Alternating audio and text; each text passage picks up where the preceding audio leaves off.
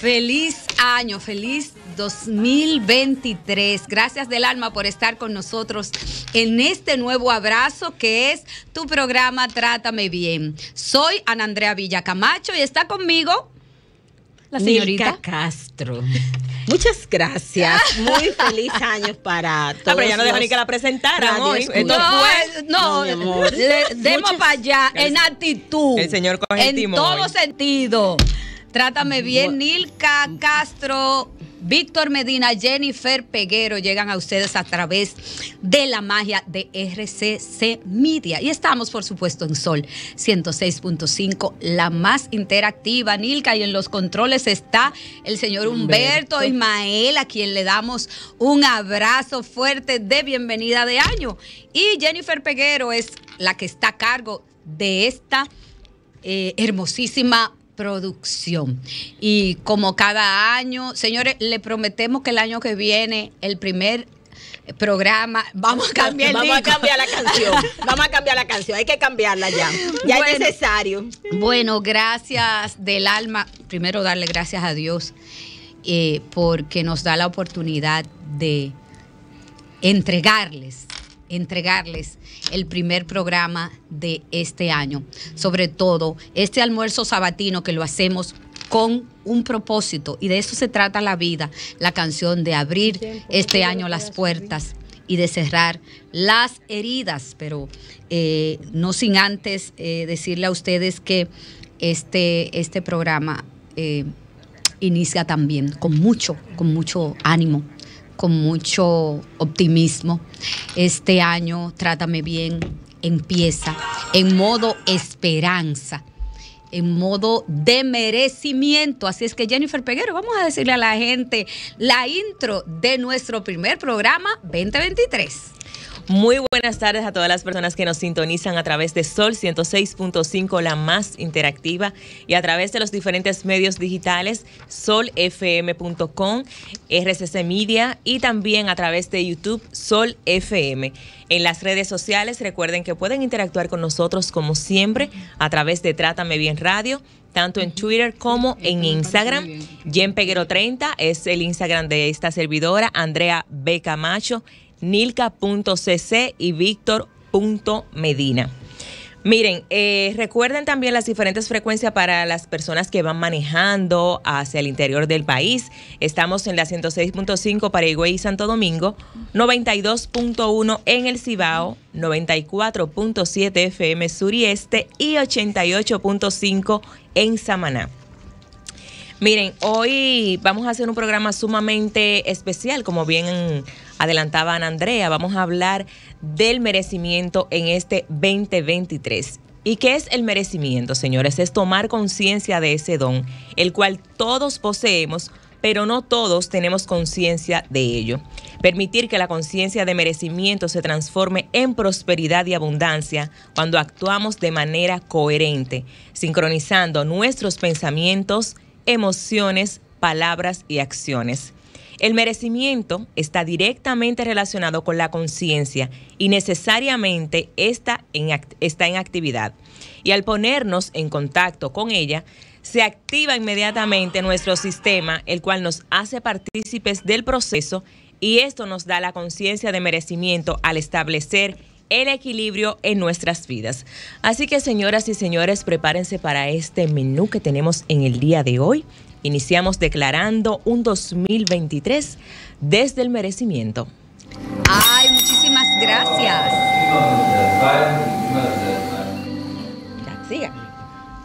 Sí, bueno, muchísimas gracias, eh, Jennifer Peguero. Yo, yo no sé, yo venía camino acá, Nilka Castro. Ajá. Y yo sentía en mi interior, y yo he aprendido, los golpes de la vida, ustedes supieron, me han enseñado a ponerle mucha atención a mi, intuición. ¿A qué me dice mi interior? Y yo siento que este año es un año como tan especial. Es un año donde la madurez me va caminando, donde ya yo empiezo a ver las cosas de otra manera, empiezo a entenderme, porque hay muchas cosas que yo trabajé el año pasado que yo reconozco que aún no la entendía. Eso de la autoconfianza, eso del saber mi valor como persona, saber que yo puedo, saber que yo merezco, Nilka Castro. ¿Por qué? Ustedes dirán, ¿y por qué estas mujeres vienen con eso hoy? ¿Por qué venimos con eso hoy? ¿Y por qué empezar el año con esto? Porque existimos muchos seres humanos que no sabemos cuánto valemos. Como no sabemos cuánto valemos, no sabemos qué merecemos. Y como no sabemos qué merecemos, nos regalamos a los trabajos, nos regalamos al primero que nos brinda una sonrisa, nos regalamos en muchas cosas, no ponemos límites para que nos quieran y digan que somos muy buenas, muy buenos. Y empezar a confrontarte contigo y saber muchas cosas y autoconocerte, yo creo que da poder sobre ti. Y cuando tú tienes poder sobre ti, nadie más lo tiene, sino tú. Tú decides, Nilka Castro. Bueno. Así empezamos, ¿eh? así empezamos. Eh, eh, a mí me encanta, me encanta, pero lo que más me encanta es que seas tú que diga eso. Eso es lo que más me encanta de lo que acabas de decir. Que seas tú que haya dicho eso, que sea este, este año el año para saber dónde poner ese límite, para saber disfrutar, para poder contar una misma en la vida de sí misma. Que eso pareciera algo como un trabalengua, pero muchas veces contamos mucho para la vida de otros y poco para nuestra vida. Mira, tú que dices eso ahora, tú sabes que hubo algo que tú me dijiste una vez y yo lo pasé por alto. Y en estos días pensé en ti y lo reflexioné. De las muchas lecciones que he aprendido a tu lado a través de estos 12 años, que quizás uno pierde muchas cosas en la vida. Somos ave de paso. Uno pierde amigos, uno pierde trabajos, uno pierde amores, uno pierde oportunidades que se van porque no era ese el momento. Ahora, que no me falte yo, que me falte todo en la vida. Todo me puede faltar. Y óiganme, y cuando digo todo, es todo. Ahora, la que este 2023 no se va a faltar, soy yo, este cuerpo. Bienvenido, Víctor Medina, a nuestro primer programa. Buenos días, ¿qué tal? Buenas tardes, ¿qué tal? Bien, ¿Cómo están? Señores, qué rareza. El team completo. Bueno, señores, oremos. Saludos Milka allá. Castro llegó primero que tú. Claro. Oremos. Señores, este 2023. Víctor, Una rareza porque algo le tuvo que haber pasado grande porque bueno, Víctor son es cuestiones muy del puntual. merecimiento. Víctor, empezar desde el merecimiento este 2023, ¿qué es? Por Dios, explícanos. Merecer y dar gracias son dos cosas que van de la mano. Pero también reconocer cuando no se merece es lo que le da tono a la vida.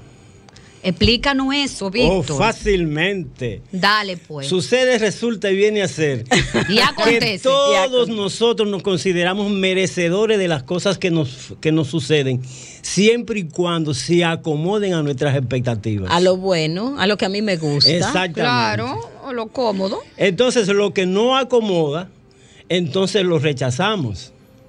De ahí viene la frustración y viene, viene la parte de, de sufrimiento. Y no entendemos, no entendemos que toda la vida se orienta en función de una ley. Una ley que está expresada filosóficamente, una ley que está expresada físicamente, una ley que está expresada a través de las religiones. Usted, usted cosecha lo que siembra. Si el fruto no salió adecuado, busque qué semilla fue que sembró.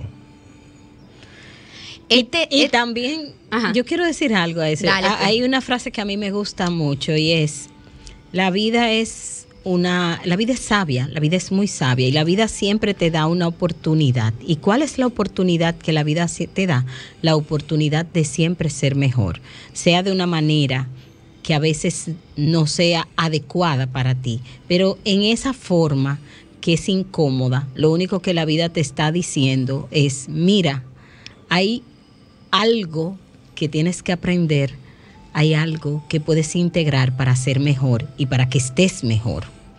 Entonces, en esa sabiduría que tiene la vida, que la vida tiene un gran objetivo y es que al final de nuestros días, cuando nos toque partir, nos vayamos mejor y más ligero la vida siempre nos está haciendo el camino más ligero. A veces parece que, es carga que tenemos, pero no es carga. La vida nos está invitando a liberarnos. Uy, uy, uy. activar la mente, Víctor, perdón, activar la mente, decirte palabras positivas, eh, eh, aceptar y entender tu valía. Mira, mira, o sea, eh, la cosita, las cositas son simples, a mí no me gustan. La mente siempre, la, mente, la, mente, la mente siempre está activa. La mente siempre está activa. Decirte palabras positivas, o sea, suena, suena a dulce, a dulce. Pero ¿qué es lo positivo? Que son, es, uno de los elementos que siempre yo trato de, de clarificar. Lo positivo es aquello que te mueve a tu propósito. Ok y no tiene, lo positivo en sí mismo no tiene condición moral. Por eso yo decía aquí en una oportunidad, cuando un ladrón está planificando un robo, tiene su mente en positivo. Está, está organizando las informaciones que tiene y todos los elementos para lograr su propósito.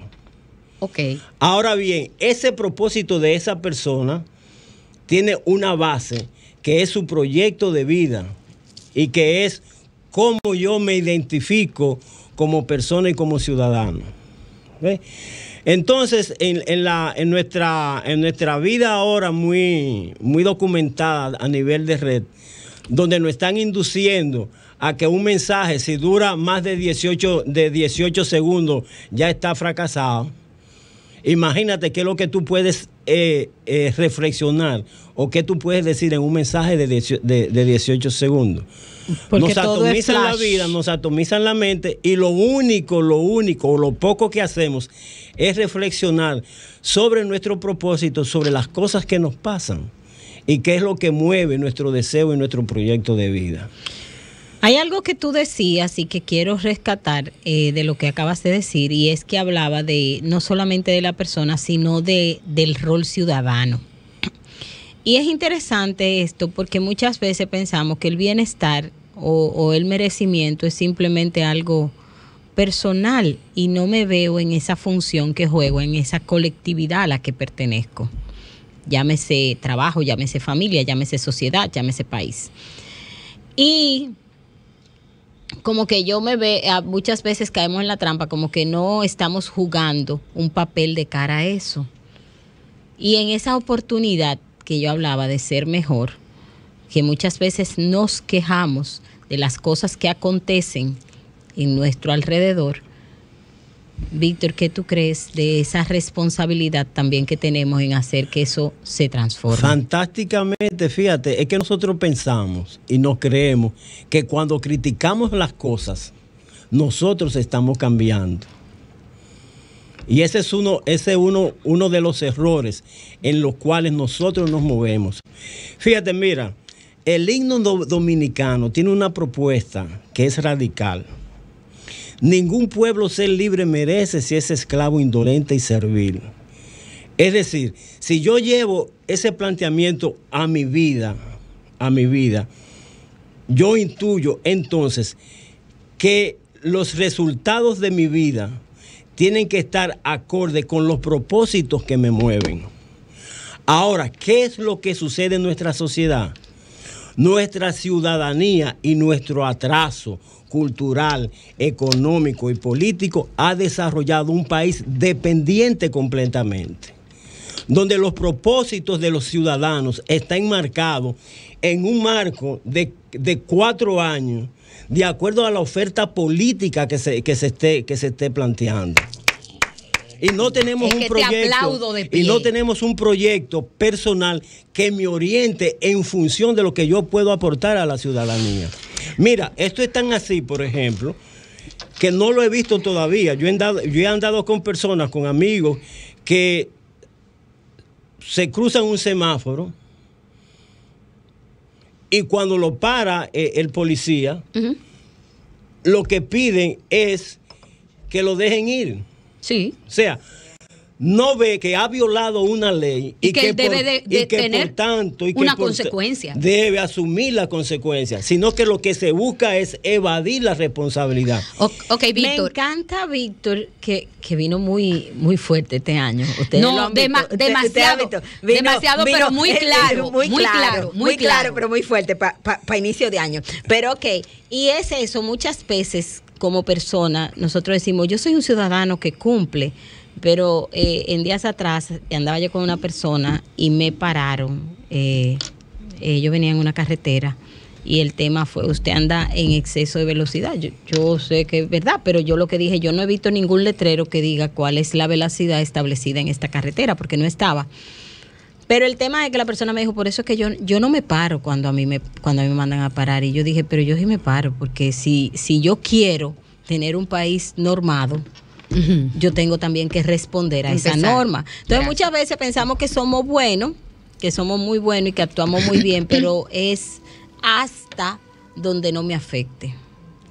Hasta donde no me afecte. Mucha gente, mucha gente, Víctor, pone su bienestar, su armonía, su salud emocional, física y económica en un gobierno.